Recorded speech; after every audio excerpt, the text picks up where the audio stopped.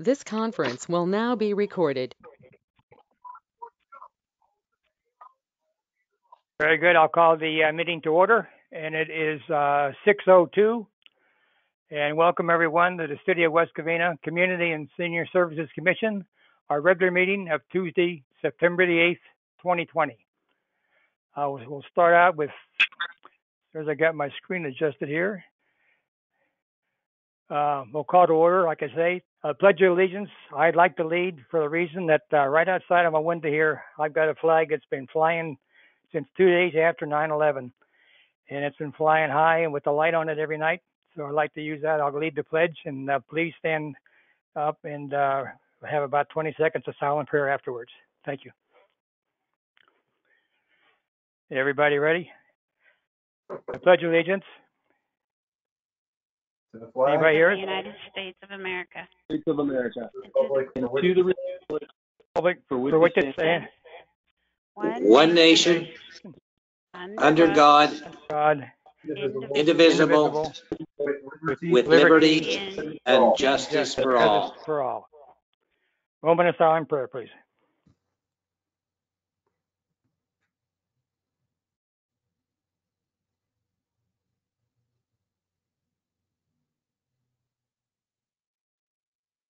Very good. Thank you. Then we have roll call, please.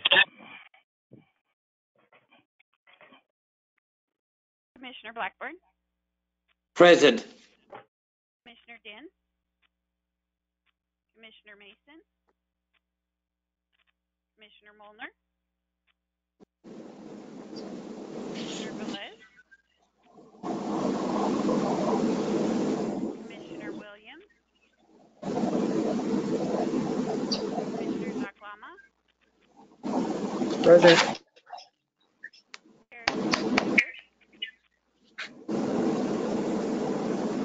Vice Chair Lewis, Present. Hey, hey Deb, real quick, I cannot hear you very well at all for whatever reason. So I don't know if it's a microphone issue, but if you could speak up, I appreciate it. Okay, thanks.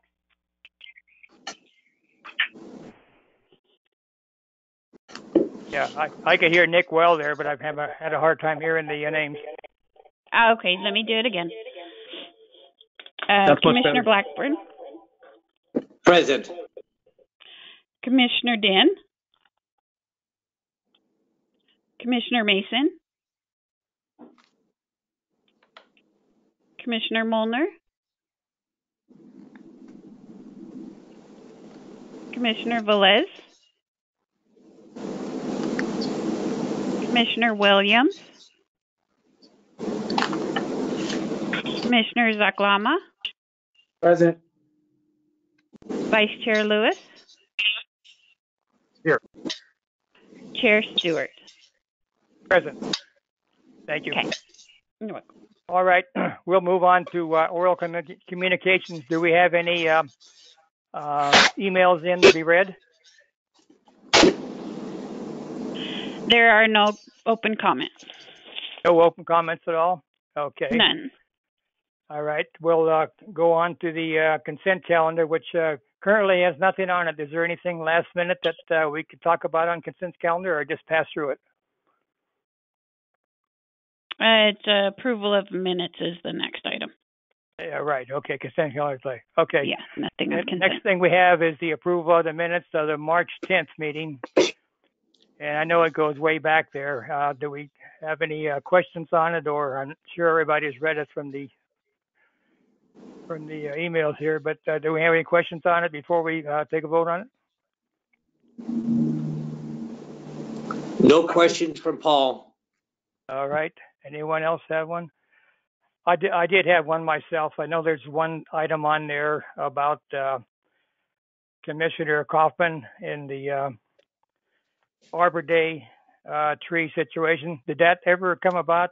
I'm not sure when Arbor Day was exactly, but uh, did anything happen on that, or is it still up in the air? Commissioner Stewart, this is Mike Cressup. We uh, Yeah, Mike. we made a formal we made a formal request to West Covina Beautiful. They Okay. they put that event on, but we have not been told whether that's been selected or not. So we're still waiting to hear back from West Covina Beautiful. Okay, so it stands right where it was at that day then. Okay, that's fine. All righty. Is there any other questions? If not, uh, do I hear approval for the uh, March 10th minutes? So moved. I'll Do I have a second. second? Let's have a uh, roll call, please.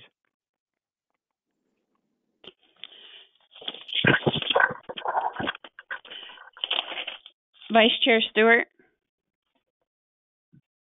Yes.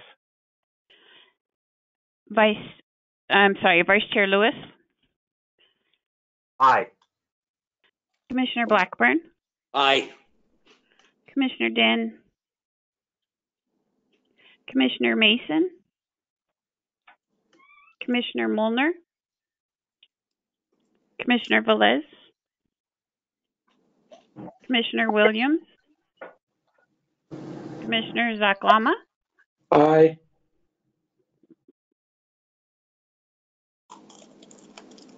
All right, that uh, is fine for the approval of the minutes. Let's move on to the uh, new business and uh, item number two, which is COVID-19 impacts to city services. Mr. Uh, Chair. we do um, we, we, I- we do have a long list of things on there that they've uh, pointed out that are closed and everything. Mike, do you want to make comment on that? Chair Stewart, Um, Dave, can you hear me? Yes, I can. Hey, I, I didn't hear, uh, at least two commissioners vote on the, on the last, uh, matter. On the uh, minutes? Yeah, I, I didn't hear either, uh, Commissioner Zaklama or Commissioner Mason, uh, cast a vote. Yeah, I, I did hear Zaklama. I didn't. I didn't hear Gail Mason. No. Okay. I, I don't know, may- I don't know if that was intentional or not. I just wanted to make sure that we have a clean record. Okay, yeah. Are you there? Can you hear Gail? You're okay? Is Gail, Gail Mason? I guess she's not on the, on Can the you line hear, right no, can you hear, can you hear me now? Yeah, I can, yeah. Did Yes. you, did you vote on the, Okay. uh, Ma- March Yeah, I tenth, uh, did. minutes? Yeah, I don't think you heard me. I voted yes, but I couldn't Okay, find that that's green fine. button. It's Okay, only a question. We need, needed your vote for to make it legal. That was all. okay. Okay, we, go ahead. We'll go on to the, uh, number two and new business. Mike, you wanted, uh, you did have a good list of things here. What, uh, what's going on? You want to comment on that? Yeah, no problem at all. Um, to start out, you know, City Hall, our hours and everything hasn't been been impacted. The community to service, the community services department has been step, stepping up a lot in maintenance. You know, we've gone through a lot of changes and um, lost a lot of manpower, and so we've kind of become a hybrid department where we're handling maintenance and and everything else. So in this COVID, in this time of COVID, you know, community services, we haven't been able to do the programs we want to do. The main thing that community services has been doing is the meals program. Um, at the high point, we were delivering about 500 meals a day, and now we're down to about 245. So um, that means that's the key. That's been our key emphasis in the department. Hours at the facilities, um, all of our centers are changed. We have not opened up our daycares. City Hall is closed to the public, doing some minor business with permits and things of that nature. Um, police station is closed. Not sure exactly when we're going to open back up. You know, um, we'll just have to go as as the you know as we continue to go through the pandemic. We're all looking forward to getting back to whatever the new normal is. Um, but that's where we're at. Other than the senior meals, we have the LA Regional Food Bank dist- distribution that's happening at the library. And uh, from a recreation side, we've just started to rent out our fields again. So some outdoor activities that follow social guidelines will will start to continue. So you'll see see people out at parks doing different things and using our fields. Um, it is touchy because some people feel that nobody should be doing anything, and other people feel that they should. But uh, we are following LA County guidelines, and parks and things will start to open. So you'll see a, a, organized activities at the parks again. Um, other than that, I don't know if you have any questions, something you want me to hit on, or something more specific, or uh, anything I didn't touch on. Any questions for Mike? Yeah, Mike, just, just curious, um, are there any, uh, known active cases of COVID, uh, amongst city staff that would prevent, uh, a reopening? That, that is, that is publicly disclosable, I guess, at this juncture? Well, obviously, there's not much. To, you know, obviously, we can't go into details of who, but um, we did have we did have an outbreak at the city, and we currently do not have. You know, we are no longer considered an outbreak or a cluster. I'm not completely familiar with the rules, but um, we did have some areas where there were some cases of COVID, and because of that, we're being very cautious. You know, um, the city unfortunately has to go on the side. Of, we're so, you know, we are so limited on our resources now, and the staff has become so thin that we we have to be cautious because the second you come in contact, we could be shutting down whole departments. Um, but the, I believe there's one active case in the city. I couldn't even tell you which department, but there's one active case, I believe, and uh, there were points that we had more than that. Does, Right, I does that answer your question? Yes, it does. I, I was just curious if, if that, that was um, a, a basis for making a decision as to whether or not to reopen or not. It it was. It was a major part. It was. A, it was a major. You know, it was a major part of the decision making, and then just knowing to keep operations going, we have to protect ourselves as much as we can. Right. Do, do, do we have any, uh, any particular policy or, or baseline or guideline that, uh, is going to, is, is going to be the basis for a decision to reopen or not reopen? Uh, I mean, basically, we're going off count. I mean, we we defer to you know we don't have our own Department of Health, so we we defer to the county. We're just following county guidelines, and with the, with the the cases we've had, it's my understanding that HR has been in contact with the county, working with them regularly and following the process. And at your highest point, when you, you know when we were at our highest point, I believe the county was out at our facilities monitoring us as well. So um, to answer your question, I believe we're just going to follow whatever the county tells us to do. Do we know when the Those, county? those will be our guidelines. do we know when the county is going to give us any guidelines as to whether or not we're going to reopen or is I I I, I guess I, I guess what I want to know is do, do department heads even know uh, what the what the guidelines are going to be uh, as to whether or not the city hall reopens? we, to be honest you, we find out about five minutes before the public does. Um, I, I am in the I am in, in the department head meetings, and uh, you know the the information does.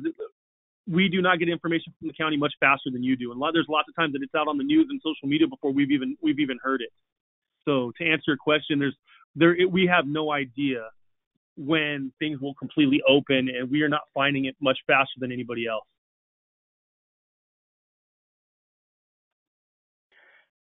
Okay, I, I, I guess I'm a little disappointed that, you know, as a, as, as a city that a lot of people rely on, um, services for, that we don't have any sort of plan in place for how we're going to ensure that people who don't have the ability to, um, uh, to, to do things virtually or otherwise are, are still going to uh, obtain essential services. And I, I think that's the thing I'm most concerned about. Well, Nick, I'm not sure what services you're referring to because obviously, from our standpoint, you know, most of our cu- customer service, you know, we're not in person, but we're responding to every call and every, you know, it could be, you know, through the app or calls and things like that. So we're start, we're still trying to get where we need to go and do the things we need to do. Um, building department is also working on, the building department's also working on um, taking payments, putting plans through. So even though the even though City Hall is closed, I do not believe that we are not providing the the services. So I guess uh, if there's a specific service that you feel is not getting done, maybe I can go down that route. But at this time, I believe that everybody's still being accommodated. It's just maybe not in person. Now, all, all I wanted to know is, is whether or not there, there are any concerns that come with, with closing, closing down City Hall and, you know, conceivably, um, you know, access for people to, um, either, um, uh, either redress any grievances that they have with the city or, or, or whatever. Um, I just want to see that be something that, uh, is, is always uh, top of mind for City Hall. And obviously, I know there are limitations, but I, I think the concern I have is that it doesn't seem like there's a, uh, a, a good understanding of, of what the baseline is for, you know, when we get back to, uh, you know, having, having sort of face-to-face discussions with people. And, and maybe, uh, maybe it is premature, I don't know, but um, obviously the government is as essential as it gets, and um, you know the fact that we don't have any sort of set baseline as to as to what is going to be um, a a timeline for for that to happen is the only thing that concerns me. I, it's not that we're not being proactive in a timeline. It's just that we're at the mercy of the county. We don't know what they're going to do or where they're going to go. You know, state says one thing, the county says another. Um, but the plan is to give plenty of time to do that. We want to make sure we communicate more effectively when we do open and, and clear about how we do that and what guidelines we are going to follow, whether it be social distancing or just things to protect uh, staff and the patrons that come into the facility. So um, we are working on that. HR is working on it. They're looking at doing it, and they want to make sure they roll it out in a timely manner and in a way for everybody to see what the guidelines are going to be. Um, it's just not. We just don't know exactly when that's going to be because we're relying on the county to make that decision. Mike, it's Gail. Yes, ma'am. Can we get a waiver or something to, to reopen? You know, like they're doing in other parts of Southern California for schools and everything? I mean, do we have to absolutely stay right with the, with the county or the state? Can, can we make a decision on our own of I opening? believe that I believe that there are certain decisions that can be made. I do believe that, but Mhm. um, you know, I think it would come to council to give that direction. You know, council would be have to want to give that direction. And from my dealings, council has been on, you know, they've been on the spectrum of we're, you know, The we're going to stay side. apart. Mhm. Yeah, yeah, they're staying on the county side. Right, okay, just, just, that was the question I had. Thanks. And, Any and other the topic questions? comes up I'm, I'm sorry, go ahead. No, I, the Any- top look. The, the, Okay, Mike. Dealing with this, the, the, yeah, the topic is all over the place. It's all over the map. You know, when it comes to our rec, our rec stuff, half the population wants to play sports, the other half feels that they shouldn't. But you know, I've got I've got 15 to 20 calls a day from people saying, "Hey, I saw these people at the parks. I saw people doing this. They weren't following the rules." Um, it's been a very hard thing to to gauge and judge. And at this point, there's not a waiver or something like that. The the city's standpoint has been to follow the county guidelines. Right. Okay, Cou- Couple fast questions for you, Mike. On the, uh, the 20 plus, uh, food boxes out of the, uh, senior citizen, di- uh, there- I know it's for, uh, 60 plus. Are they for residents, uh, West Covina residents only? currently we are only providing for West Covina residents, and uh, my Okay. understanding is even if, now, now to be clear, not you don't necessarily have to be a West Covina resident because we get county funding for that. The Right. county the county pays for a large portion of that program, so Yeah. do not do that. But we were fortunate enough to get most of our West Covina residents taken care of, and at the high point, I believe 90 almost 96 percent was uh was was West Covina residents. Right. Basically, the ID is, ID, uh, showing is to see if they're 60 years old, right? That's the idea? That's Over correct. 60? Yeah, okay. The second thing is, and I never paid attention, like uh, Cameron Park, where all the swings and everything are wide open. Do you have those taped off, or are people using them? We have taped them. That we've ha- we have them taped off, but they people keep taking down the tape. Yeah, that's what I'm saying. I went by the other are day, I didn't see hardly any tape, and I couldn't. I figured that's what happened. You know? Yeah. Yeah, we've been we put signs up. We put signs up. Playgrounds closed. We taped everything off. Those lasted about five minutes. Yeah, yeah, yeah. Especially on the weekends, that group goes in there, they'll take them off every time, probably. So that's what's going to happen. Yeah. Okay, Mike. Thank you. Anything else for Mike uh, on that subject there? Yeah, I have a question, Mike. This is uh, this is Kareem or Zach, Dr. Zach. Um, on the boxes that are being distributed for senior center, I I know you guys are super stretched thin and everybody's working hard. Do you need any support on that? That seems like a pretty essential service people rely on. Do you need any support or any word out? What can we do to support you on those? At this point, at this point, we're where we need to be. There was a time that we were overrun and we were have, having difficulties, but we've streamlined the program. Numbers have started to go down because the next issue is going to be funding. You know, at this point, manpower is fine. Funding is going to become more of an issue as this continues to go on. You know, this is a program that is costly, and um, you know, the, we don't know how how how much the cares how far the cares acts are going to go. you know, we, we're, we're told more funding is going to come, but we aren't sure how much more funding. Um, so an issue now is not so much manpower; it's it's it's the actual how we're going to continue to pay for this if this continues to go on.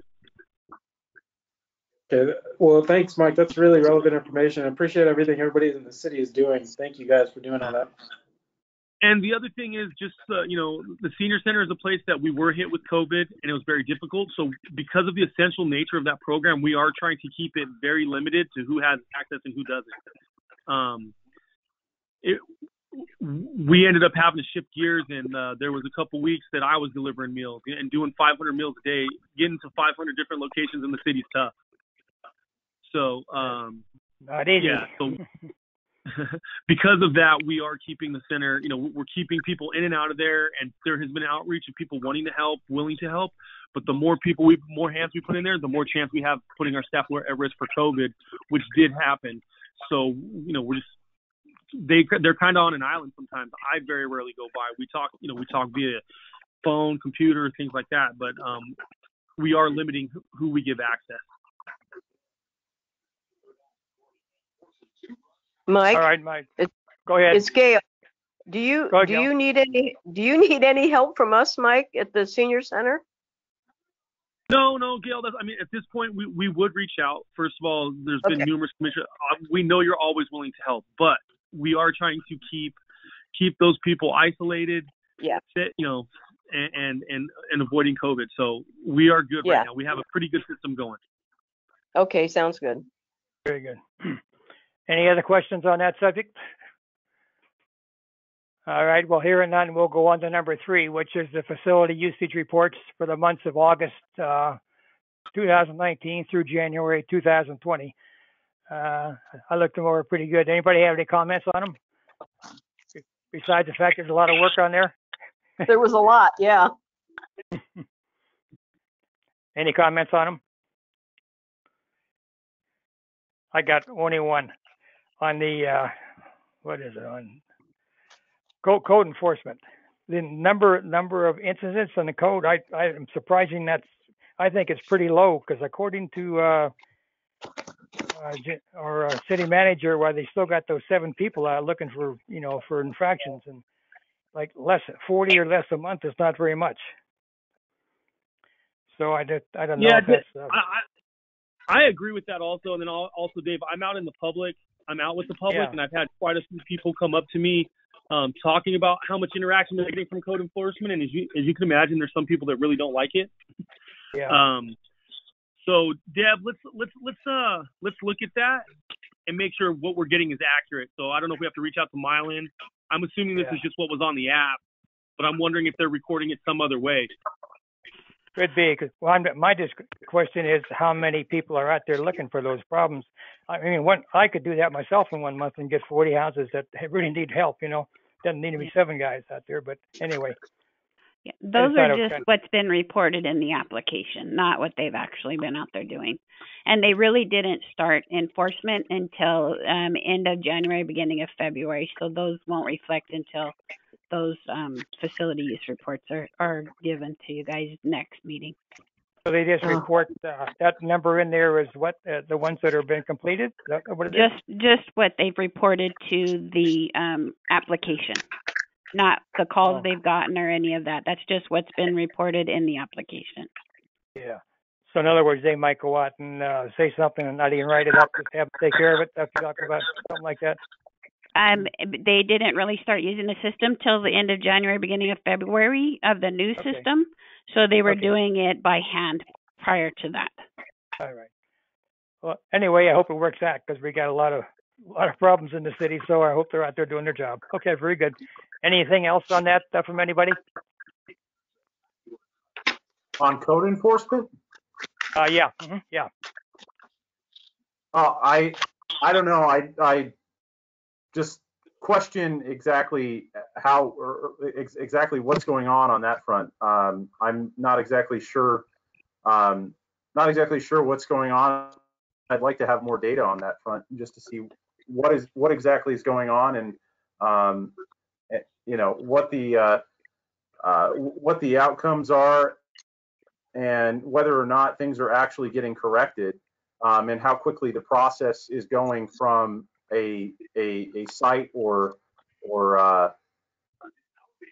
or shutdown of a project to, uh, to restarting a project or something like that, uh, that is, uh, uh, subject to permitting.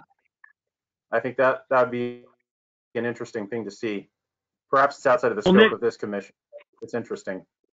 I have, just to bring, bring something up, code enforcement really has nothing, uh, well, I should say nothing, but very little to do with the permit. Code enforcement is where there's a violation with a car uh, in a driveway, it's gotta be, uh, uh, I think it's 20 feet from the street, 25 feet from the street, but I don't think code enforcement has anything to do with permits, does it, Mike? Uh, no, it does. There's there's different. I I don't know the ins and outs, but it is. You know, you you brought up an example, but they do have some and building permits. Um, you know, uh, also property permits. You know, overgrown things like that. The two intertwine. So there are permits that they don't they don't provide the permits, but they, I believe they cite for not having certain permits or following certain procedure. So if I can recommend, maybe once again, you know, this isn't our purview per se, but I don't think it would be bad for us to have Mylan, who is the the code enforcement manager, come out and tell us what he's doing, clarify on these calls, and then clear up the information. I mean, it's stuff we are reporting out to you. That being said, you know, not to jump the gun, we're going to talk about traffic committee a little bit later as well. That is not this committee's purview. So Yeah, right. I can't get him here to tell so to, to clarify so you know what he is what he is doing, have it come, you know, how they handle things, what they actually do. We can have him make a report, but um you know, if the committee so if the if the commission so so wishes I can make that happen if you guys would like. Well, you know, maybe maybe the uh, next meeting we have, the uh, numbers may speak for themselves too. If they get, you know, might be a lot more. So we'd be probably be happy with that. But anyway, if he wanted to come in and um, and talk to us, that would be fine too. That probably answered all the questions that we probably all have. That'd be good. Okay, we will do that. We'll get that agendized. Okay, very good. Anything else anybody has on the facility? We kind of got stuck on the code enforcement, but there's a lot, lot of numbers on there. That just happened to be the one I picked out. But uh, anything else that we can talk about? Okay, here enough, none. We'll go down to uh, continued business, and now it's number four, which is city parks and playground replacement needs. And that's uh, you again, Mike. Well, to give a report, the ad hoc committee uh, they've chosen a design, and we are working on using our Measure A funds to to build a new playground or to replace the existing playground up at Shadow Oak Park. Um, I think they came out with a great design. I think that selection's been done. That should be going out to bid here shortly. So, as discussed, with the the Measure A money, our goal is to replace the park every year, and by doing that, we will also have money to maintain those parks. Um, so, we need to decide we need to decide where we want to go to next. With COVID, we don't know what the community outreach is going to be. We don't know if they're going to if they're going to modify the guidelines for community outreach. But um, I think the commission needs to come up with a location and and then start start the work to get the process done so we can get the project approved. So I don't know if we want to just I don't know if we want to take a tour, go look at playgrounds. I don't know if um, you want us to provide a couple sites and then we vote from there and then we start the community outreach. But uh, this is something that we are looking to get going. In addition, we also got some extra money from Prop 68, which is a gra- it's uh that's a um th- those are those are grant funds that are available, but there was a uh, application project for that, but they're actually now going to provide us more money to that. So there is some possibility we'll be able to do two playgrounds this year and not one. Uh, Oh, good. couple locations. They didn't give us as much money for that. Like the money doesn't cover, for example, like the playground at Shadow Oak, but something like California Parkette is something that it may cover. So, um, yeah, I need to. We're just looking for direction from the commission on how we would like to how we'd like to decide on the next site, site or Well, site. it'd be, be, be, pretty, be, be pretty tough to have a you know a public meeting right now, so that's pretty much out of the question for at least a little while. You know, sometimes you get good out input out of a meeting, but it's pretty much impossible. One thought I had was if all the commissioners had a list of the parks, the addresses, on our own free time, we could probably take a look at them one by one and maybe bring it back next time and see how it works out. Would it? Um, if I can make a suggestion, are you okay if I submit to you the that I like say I say five in the worst shape, you know, five that need the most repair, Well, five that'd we fine. biggest you know issues. If uh, if we Yeah. provide those to the commission and then we go out from there and then and then from there we can work on design, that would be great. That'd be You good know, because Mike? you've already done it. Go ahead. Okay, Neil. I, I, I would like to go out to those five. I think we, we need to go out and see them before we make our decision. I agree. Agree. So the so because of COVID, so we'll send that out and commissioners can go on their own, and then we can Yeah, that'd we be can circle back on the next one and and make a motion to where we're going to move next, and then we'll start we'll start the community whatever. Like I said, the community outreach. That's the term I'm using because that's what Prop A requires. I Mm-hmm. don't know what those guidelines are going to be. They might say, hey, we can do it all online. We can do it via via online survey. Um, those things could change. So when I say community outreach, it might not be our traditional thinking of community outreach. Correct. Well, by you doing that uh, legwork for us and getting it down to five, that'll be pretty nice just to get five, and we can definitely take care of that. Yeah. That'd be good. Now, to be clear, when I say five, I am not going to look at location. I'm not going to do that. I'm going to look at what I feel is the most, what puts us the most at risk. Um, Yeah. You know, we ha- we have we have aging parks, we have aging buildings, a lot of infrastructure. So, you know, I know sometimes it comes down to one area is getting more service than the other and things of that nature. But when we provide the locations, it will not be on that basis. So, be on where we think the most need is to protect our, our community. Right. Good. I agree on agree on that for sure. Mike, I have a question. This is Zach. Um, just a reminder, a brief reminder on the funds. Do they roll over if we don't spend them, um, our yearly allotted, or are we, do they roll over or they're gone? We do not lose these funds. I mean, the the the Prop 68 money could be lost, but our Measure A funds, no, they we keep them and they keep rolling over. You can even do if we wanted to do a bigger project, we could take five years worth. We could take five years worth and do that. That being said, I know that we want a lot of. I know we want a lot of bigger things, but bigger things cost more to maintain, and us having the money to maintain the playgrounds is very, you know, it comes, you know, it is money for that, but if we wanted to do a pool, you know, if we wanted to do a pool, we could take 1.5 million and build a pool, but the upkeep on a pool is more than our M&S funds would be, so we still have to find a way to pay for that after it's done. So does that make sense, Dr. Zach? Yeah, that, def- that definitely makes sense. Thank you for the reminder. Um, so I, I agree with what you're saying and what, what the other commissioners are saying, that if we get, uh, probably a comprehensive, just so you could, Mike, cover all your bases, if you put out a comprehensive list of all the parks with addresses, and whatever commissioner wants to go look, they could go look, or, or anybody in the public wants to go look, they can look and make the recommendation during public speaking time. But I definitely think the biggest value is you, Mike, personally, um, having dealt with these parks day in, day out and the problems with these parks.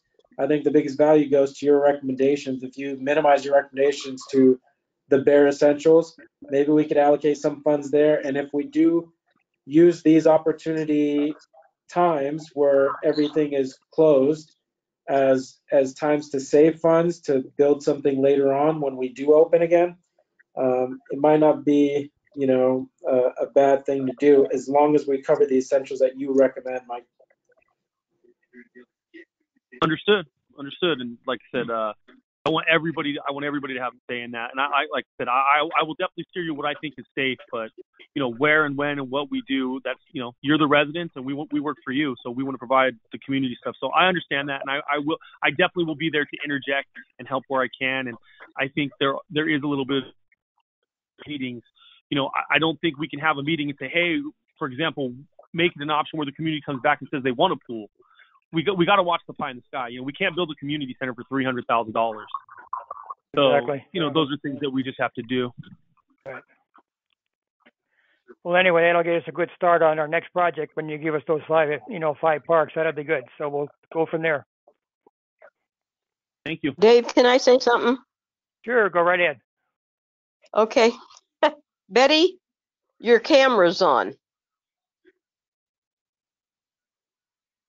I don't think she realizes her camera's on. Hmm, okay. Well, she'll find out. I don't I don't know if she can hear us.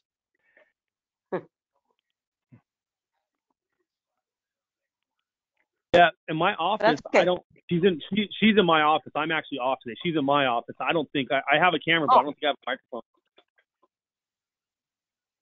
Maybe she's gonna get help now. Yeah. Okay. There we go. She. Okay. Okay. Any more discussion on the uh, city parks? If not, we'll go down to number five, which is a discussion on the request for an update of the traffic committee meetings. Yeah. Well, I, I don't. I think we provided. Deb, I don't, I'm sorry, I don't have it in front of me, but Deb, did we provide the last traffic committee report here? Yes, you did. Okay. So here's the issue. This this is not our purview. You know, this commission, yes, we are public services, and to be honest with you, this isn't even run out of our department.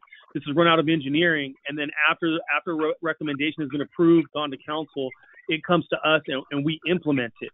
But we are not the traffic committee. We very rarely make any recommendations. We we just carry them out after the fact and repair what's broken. Um, I do understand Commissioner Lewis's, you know, uh, I understand Commissioner Lewis's concern and and and see how the two like two put two two together and say this could be part of our purview, but this is just a community service, you know, community and senior services commission, which is just half of what our department consists of now. So we don't want to go down the route where we have a traffic committee, but then we have somebody a, a separate committee overriding going against the traffic committee. Obviously, everybody is welcome to everybody's welcome to go to the traffic committee, put input in on the traffic committee, and and and be part of that as part of their meeting. And if you'd like, we can get those meetings out. You know, we can get those calendared out to you. Deb can send something out to let everybody know they they know what you know. Let everyone know when those meetings are. But we don't want to get in a position where we're trying to overrule, undermine. Well, undermine is not the right word, but um, interject interject with the traffic committee when you know when it's not our purview. So, Nick, do you understand on that? I know this was a you, uh, you know one of your requests. Yeah, I mean, respectfully, I, I, I disagree with staff's assessment on this. I, I think it certainly is within our purview, and I think, um, I, I, I- think the problem is, is that it's just something that no one really takes seriously, and if you believe it's taken seriously, then, uh, um, I invite all of the busy people who, uh, who work to provide, uh, for their families to attend the, uh, the meeting of the traffic committee, um, on, on Tuesdays at 3 p.m. That, that alone should tell you how seriously um, this is taken. And unfortunately, um, the fact is it's not taken seriously. And um, we do not have a, we do not have a city where, where uh, on an issue that people see every day, um, is is actually something that that they can get any kind of ability to redress grievances other than oh hey i'm going to talk to a city council member and you know say that uh, if you don't put in this traffic or if you don't put in this stop sign or you don't put in this street light i ain't voting for you in the next uh, the next election cycle. I i don't think that that's appropriate. I, I i've seen that happen far too often in this city. I've been involved in this city on on this commission for over 10 years now and i just don't think it's appropriate. And so i i i, I will say i i have no problem with undermining the credibility of a of a committee that has no one to answer to other than the city council who quite frankly has other things to concern themselves with. And i i don't know. Again i i'm, I'm happy to uh happy to undermine their legitimacy to the extent that it needs to be undermined because again uh, it certainly is within the purview of this commission and i i, I just i reject the notion that uh, that staff is going to tell me otherwise as mu- much as i love staff and uh, and and i very much do i i just don't think that uh, i don't think it's appropriate here but you know nonetheless if uh if if that's what the commission thinks if the commission thinks that uh, the status quo is perfect and the lack of accountability on these issues is is is where we want to leave it. Uh, that's fine. I will certainly bring it up with, uh, with my council member and we'll go from there. So Nick, Nick, do you feel? Uh, I just, I want to ask a question. Do you feel if the meeting was at a different time and more accessible, do you think that would make a difference?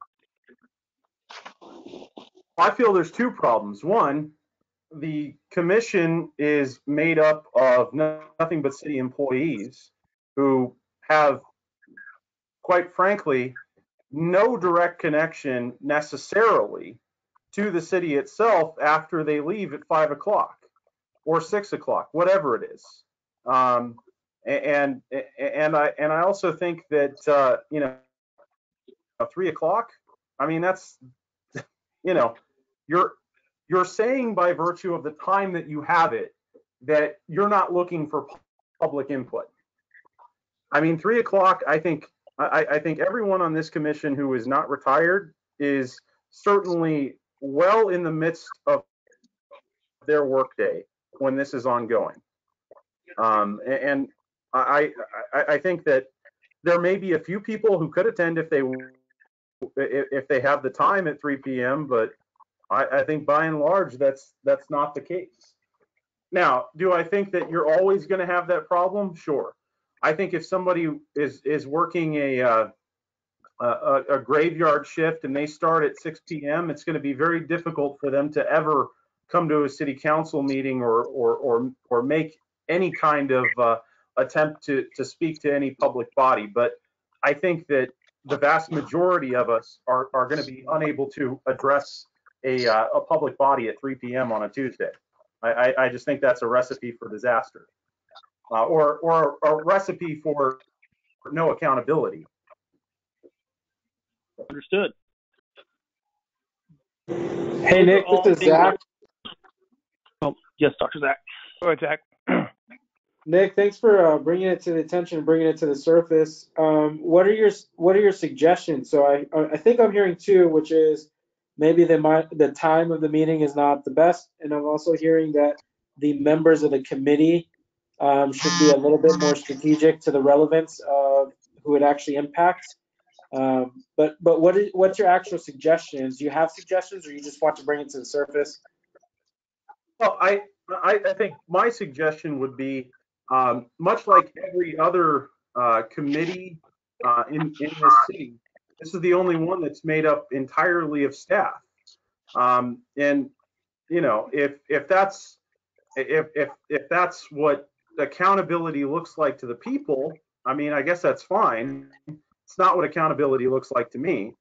So, you know, my proposal, um, if, if, if I were, um, if I were some, super legislator who had the ability to to, to change things with the uh, the flick of a pen, I, I would say that it should be something that's addressed at a at a reasonable hour. Um, perhaps a six o'clock meeting would would make sense, and I I think that it should be something that the individuals who are appointed to that uh, entity should should certainly have a seat at the table in the sense that they're making recommendations. But I think I, I, I think in terms of policy, that should that should always be something that is that that is formulated either by city council or um, or their their designated ad, advisory committees, so that you do have the ability to uh, to actively consider things that actual residents of the city um, want to want to br- bring up, and I, I think that that's a that's an important thing. I mean, you know, for th- this this commission, um, it- it's it's it's effectively arguing this commission could be made up entirely of city employees, uh, because why not? I mean, ultimately, they they they all know what's going on in the city, but you know, they're not they're not us necessarily. Um, and I don't really think that that's what the city council is, is is intending by it. I think it's just something that that was that was uh, enshrined in in the municipal code back in the 60s, and and no one has ever changed it because hey, it it seems seems like it's worked, but it's mainly work because no one knows about it. No one cares about it, and and, and I think that that's a that's a big problem, you know? No, no oversight means no accountability. And, and I, I think that that's a, that's a serious issue. Nick, um, first and foremost, I want to say that I understand what you're saying, and I, the points you bring, the, the points you bring, I understand the points you're bringing up. I guess from here, I don't know what we do as a commission because I just don't want a commission to oversee a commission. You know, like we don't want people to come back on what we choose for playgrounds and things of that nature. I don't say come back, but at some point, you know, there's too many cooks in the kitchen. So I guess I'm just not sure. And Deb, have we? I don't know if we've had anything like this before, but I mean, obviously we can make a recommendation to council, say that we feel there should be, uh, you know, more public input and and public members of that committee. I think that's a recommendation that could be taken to them. So I don't know if we make a motion or, you know, I- I'm not sure what we're looking to do there, but I still think that committee, like your to your point, I, I understand. I think they're very valid points. I just don't know how. I don't know how our commission handles that one. Does that make sense? No, Dave, I- have you ever seen anything like this? Um, not here, but I do know that the traffic committee um, stuff that's decided there eventually goes to the planning commission. The items they discuss there it goes to the to the planning commission because it it has to do with planning as well. Deborah, I believe all the,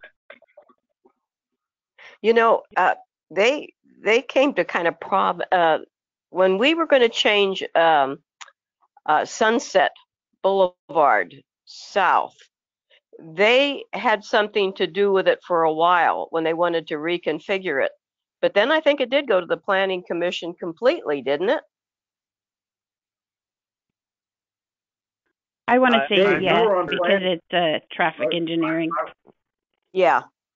Yeah, Dave, you, you were on planning before. I was just curious. Have, have you seen it come up to planning before? Have you seen traffic committee recommendations come up to planning? Uh, actually, the, uh, as I, I'm just trying to think, I don't think I recall one time it ever come up as a planning, to tell you the truth. But that doesn't mean it doesn't though, it just means there wasn't probably anything coming up, that was all, you know, but, uh, I Dave, understand. Yeah, this is Paul. Uh, again, when I was Yeah, on Paul. planning, I don't ever recall that coming up, traffic. no, no, I, I can see it coming up, you know, but like you say, it gets up to bigger, the, the bigger, uh, engineers and things like that when they start making big changes like that, but, uh, I don't recall anything like that at all in my time in the commission, I really don't. I'm sorry, but I, I thought that I had heard it had gone because there was a lot of problems with Sunset and how they wanted to change it. And I Yeah. would assume the traffic com- committee would have at least uh, been part of it. Yeah. Well, it's very possible. You're right, Gail. Just it didn't happen to come up when I was there. That was all. Yeah. You know. Okay, just just wondering. Thanks, Paul. Yeah. Yeah. well, if I like, if I can make a suggestion, can we table this and then bring back the process? I want to bring back who's on the commission because I believe there's public input as well. I actually think all of the I'm not positive on this, but I believe all um I believe all of the all the recommendations are complaints or suggestions that come from the public. So maybe if we can table this and then we can bring back the information and, and, and make it clear what the process actually is and where the recommendations go after they're submitted to traffic committee, if they go to planning, if they go to council. Because I think in this case, the process and who's on the committee would, would be big details we need to have. And I apologize, but I don't know those off the top of my head. Great idea, Mike. Yeah. Yeah, I mean, I, I can, I can tell you who's on the committee. Um, it's the city traffic engineer. Um, and now that we're a contract city, I, I guess that's whoever we contracted out to be. The chief of police or in his discretion, um, as his representative, the chief of the traffic division, um, and the, uh, the city engineer. Oh. Well, they're not. I mean, are you considering them strictly staff? Well, now they're contract positions. They are, yeah. con- yeah. Transtech handles most of that. Okay. Okay. Well, you that know, would be Mike, my if you're, gonna- yeah. Mike, if you're going to bring it back, maybe you can get an idea if there were appointed people on there, who's going to appoint them, and and uh, what would be the requirements. You know, that might give you a pretty good idea that way. You know. we will, I, will- I will bring back clarity on exactly how the commission works, where where how recommendations come in, how they're handled, and where they go. I I, I, I apologize. Uh, I, I I- I didn't understand. I mean, I didn't understand exactly what we wanted to do here. So, Nick, you've been clear from the very beginning, and, and like I said, it didn't register with me first, and now I I understand what you're saying. Um, I, I will get clarity on those things and bring it back, and uh, then then from there, maybe we make a motion to take something to council, you know, make a recommendation to council to make some changes. I appreciate it. That would, that would be good. Very, very good. Any more discussion on the uh, traffic committee? All right, well, hearing none, we'll go ahead and go to the uh, ad hoc committee reports. Anybody have any ad hoc reports? I do have one. We had a ad hoc committee meeting with the uh, CDBG funds and uh, we put a program into uh, play. Did that work out okay, Mike? That's what we did? Yes, we did. We have the, the, the you know the money's been allocated. Kelly's doing a great job handling that. You know, as always, you guys do an excellent job helping pick with that. So Yeah. we, everything's in motion. The action plan's been put in place, and we are moving forward. Ju- And we went, just- we went 50/50 on the uh, payouts, right? That's correct. Yeah, and uh, is there, is there a timeline for the uh, second payment? Um, I, off the top of my head, I do not know that. No, I'm not. I'm not okay. sure. I think it's. I think it's before December. I think it's before the end of December, but I'm not 100% positive on that. All right, that's good. I'm glad it went forward because I think it was a pretty good plan. Okay, thank you. Uh, Mike, Anybody else? Go ahead, Uh, I'm sorry. Sorry, sorry, Dave. Mike, just just curious. Um, in in terms of the the plan, and I I I I think our sort of two two tiered approach was was was actually um, hopefully quite helpful. But I I do want to see uh, whether or not uh, that's that's worked out well in in practice here, and you know what kind of feedback we're getting from the uh, the the uh, individual. Uh, um, entities that that we've provided funding to. Okay, we, we will we will get that information. I will say, talking to Kelly and dealing with this, Mhm. with COVID, things have been all over the map in communication. Some of the stuff that we normally do, you know, I know Kelly last week was hand delivering things because communication's been a little bit tough. But we, we will get that information and get that back to the commission. Oh, that's fine. Okay. Good. Just, just curious, has there has there been any uh, um, has has there been any feedback that that you know of as of as of yet on this or no? Uh, none that I know of. I mean, I I know that they're all thankful. I know that you know they're grateful for any help that we can give. But as far as how things are working and the 50-50, no, that we haven't heard anything back on that yet. Okay. All right. I I I just want to see whether or not um, you know they're they're being inundated or or or not. Um, just given the the uh, the complications of the times. So um, and and obviously not having any information on that. I'll I'll certainly look forward to that at the at, at the next meeting if we can have that. That'd be great. Well, we're we're gonna ask. I mean, after this, we're gonna pose the question. We'll we'll, we'll have an, like we'll ask the question and have the answer for you. Yeah, sounds good. Thanks, Mike. Any other questions on the ad hoc committees? All right, hearing none, how about uh, commissioner reports?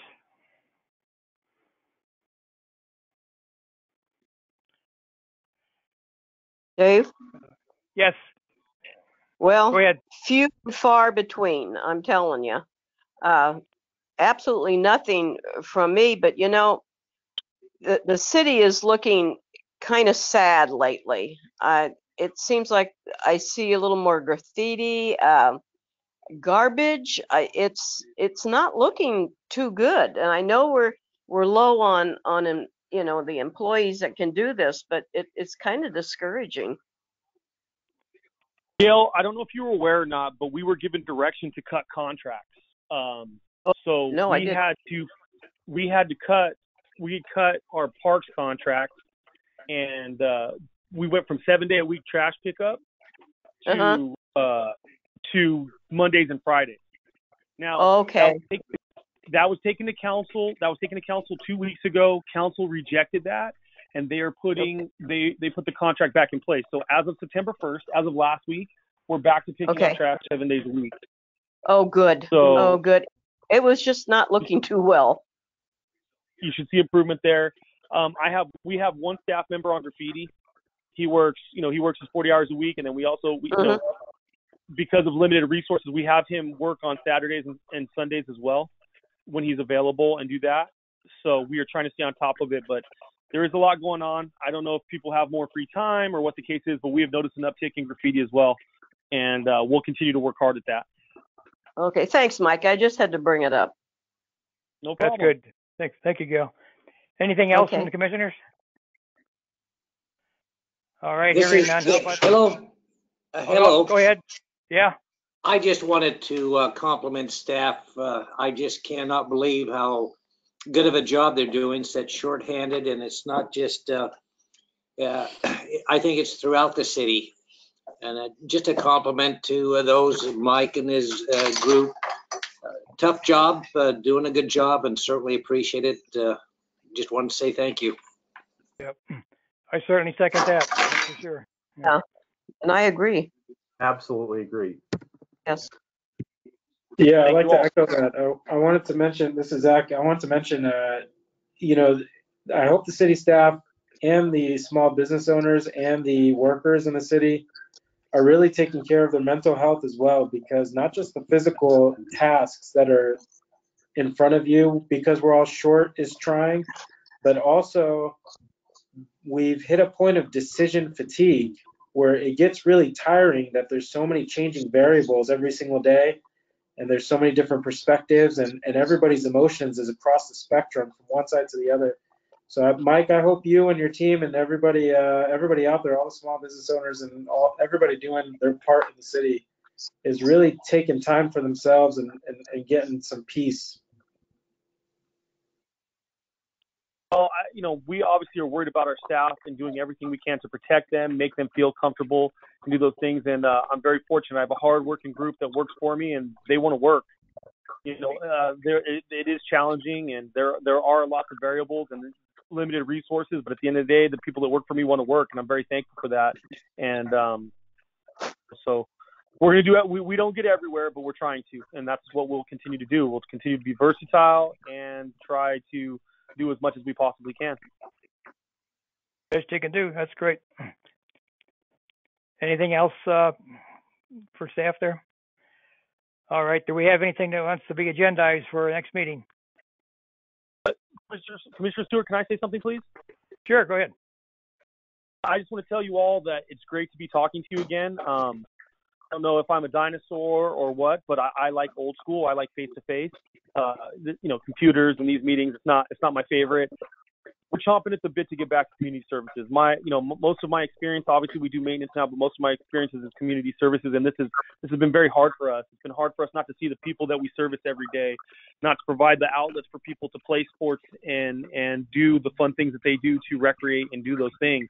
And uh, you guys are a big part of what we do and we miss you. You know, we miss you guys as much as you missed us. And I- I'm sorry it took us a long time to get to a meeting together, but uh, definitely glad to be back. Look forward to building these playgrounds and getting back to getting the community services department up and running again here in the city. So Yeah. Absolutely. thank you all, and uh, glad we're back. There, there was one thing I, I, I did want to bring up, uh, uh, Commissioner Stewart, if, if I can, as far as items to be agendized.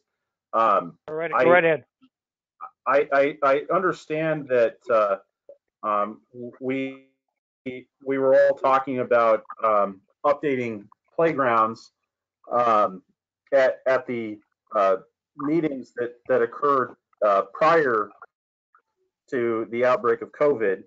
And I, I, I, I want us to potentially, uh, potentially look at, at, at the next, uh, meeting at, at maybe reconsidering that, given the current state of the world, and whether or not it makes sense to have uh, have a lot of money go into playgrounds.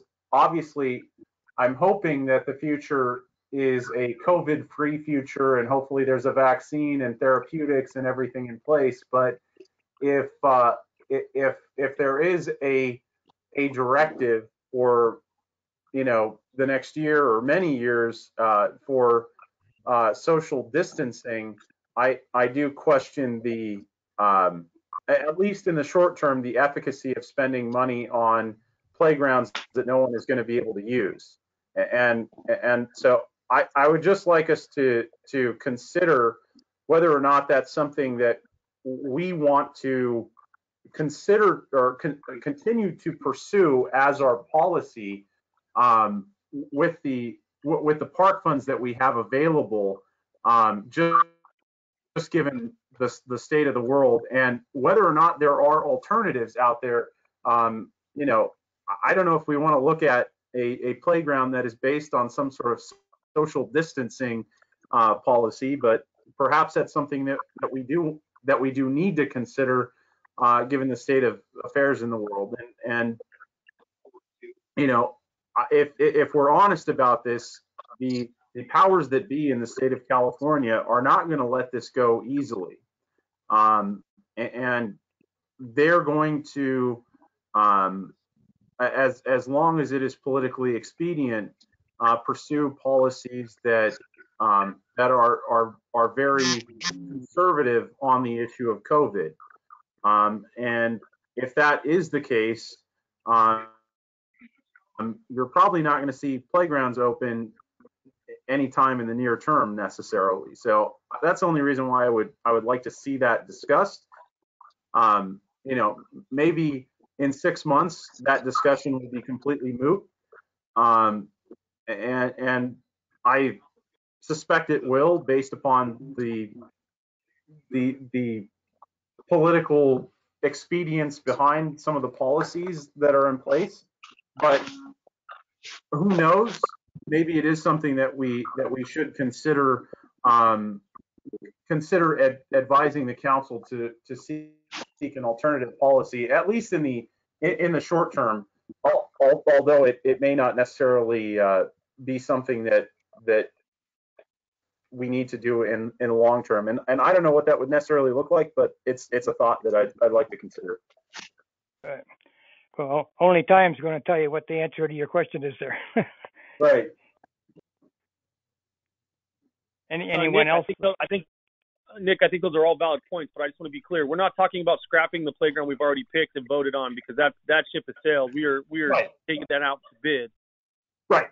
No, no, no. I'm Okay. I'm not I'm not talking about the the current playground or anything like that that that's that's already in in play. I'm I'm talking about, you know, future projects and um, you know, obviously um it, it, it was it was strongly suggested that we pursue this and I I, I think that's fine.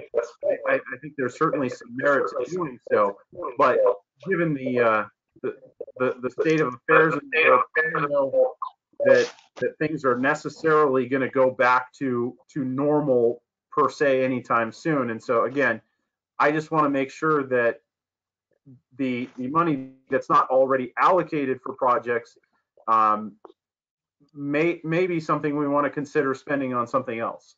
I don't know. May, maybe maybe I'm the only one that feels like that. Um, but I just like to discuss it. That's all. I think I think it's a great idea, but I also think we should challenge the builders. What are these playground companies going to do to stay in business? Maybe this isn't the last pandemic in our life. Maybe we have to prepare and, and put it on them. I think those are valid points. I think they're great points. Right.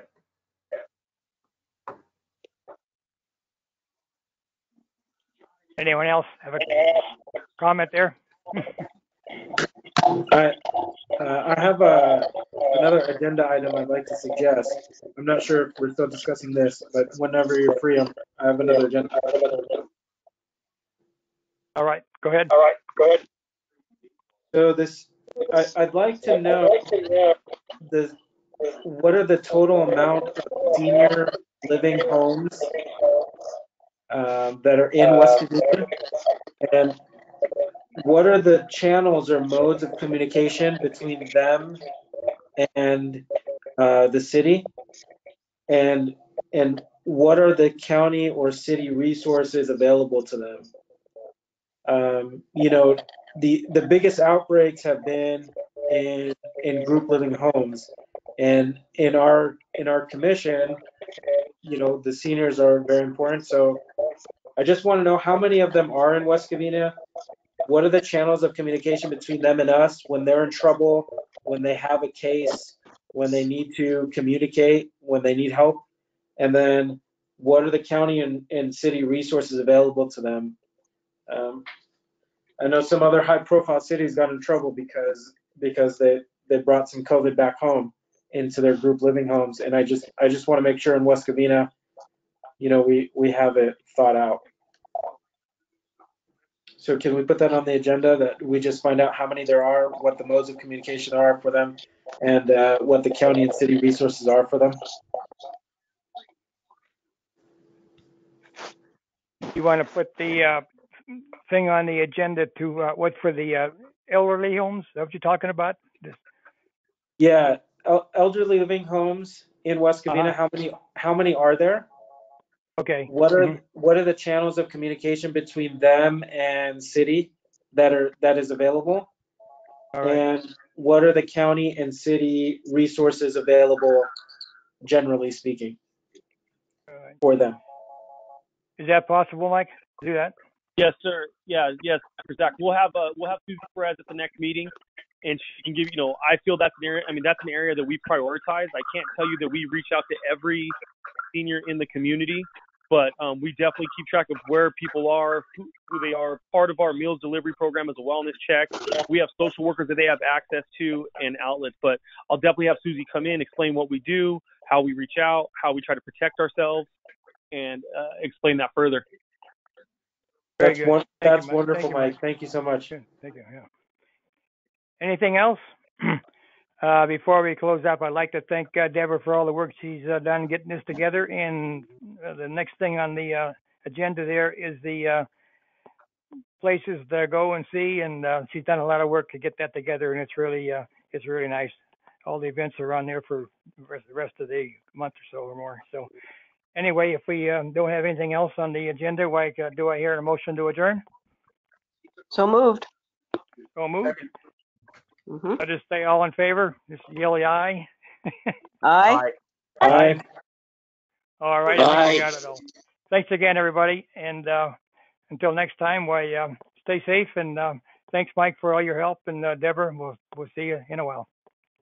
Take it easy, Everyone have a great night. We'll see you soon. Have a good night, everyone. Everybody be safe out there. Thank Thank you Thank you. very much. Mm, bye bye. Bye. Thanks, Deb. Welcome. See you tomorrow. Okay.